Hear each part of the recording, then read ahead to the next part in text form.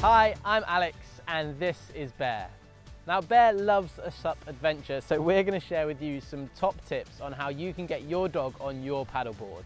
Now there's some preparation that you can do for this and you can do this at home, in your garden or even in your living room and I recommend inflating your board with your pump and getting all the kit out. This will let your dog become familiar with the board and all the sounds and noises that surround it. The next thing you can do is actually encourage your dog up and off your board, either using a toy, so their favorite toy, or I've got some treats here. So when Bear stops digging his hole, I'm gonna encourage him up onto the board. Bear, up you come. Good boy, then lots of praise. And this is making him feel comfortable and familiar with the board, ready for when we hit the water.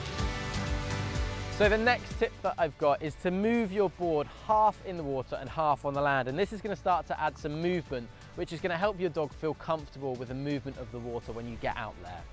So I've got my treats again and I'm gonna encourage Bear back up onto the board. Bear, come.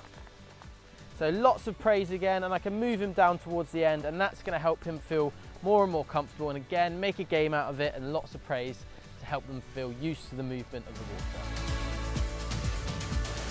So it's really important that when you head out on the water that you get your dog equipped with a buoyancy aid. This is going to help them keep nice and buoyant in the water and this one from Red Original has got some really helpful grab handles on so if they do end up in the water you can pull them back up onto your board nice and easily.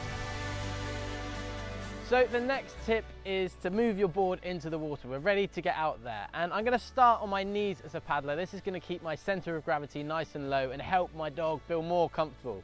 So Bear, I've got my treat ready. I'm gonna encourage him on. Bear, come. Good boy. Up we go. Good boy. So lots of praise and I'm just gonna do a short trip out and then back round and I can let him jump off.